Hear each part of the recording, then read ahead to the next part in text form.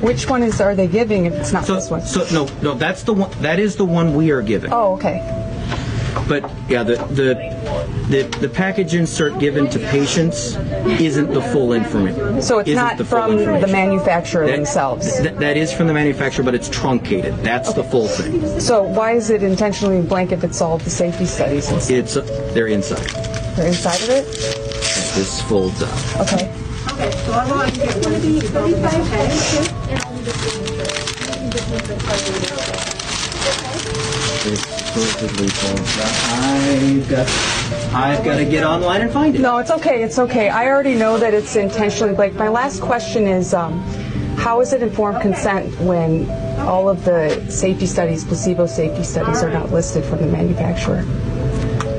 That that's a great question. I would talk I I would talk to I would talk to CVS about that because Um, so if, if we don't know what we're injecting into ourselves, um, I don't understand how that's informed consent.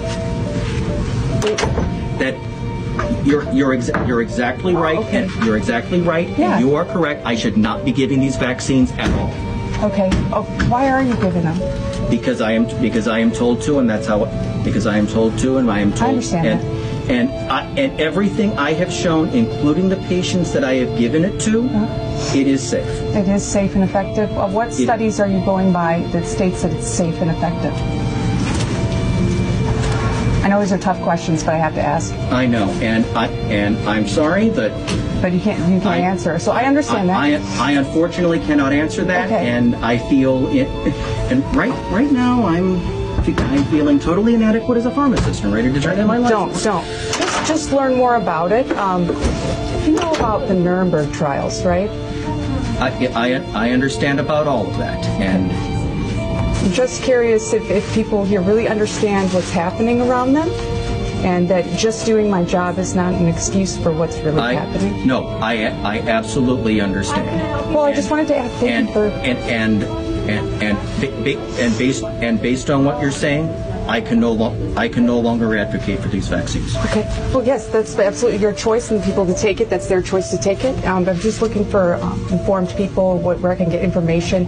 And it seems like I keep hitting this block each time. Every time I'm, I go online and talk to doctors, they, they block me.